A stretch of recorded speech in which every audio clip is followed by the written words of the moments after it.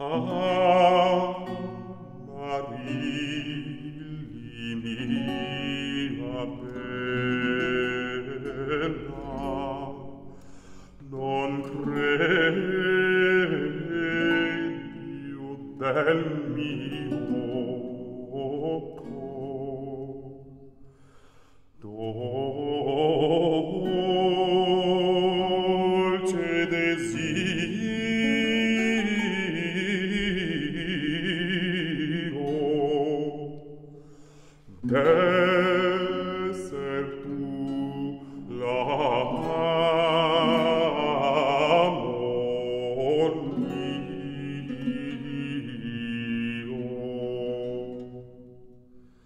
Credo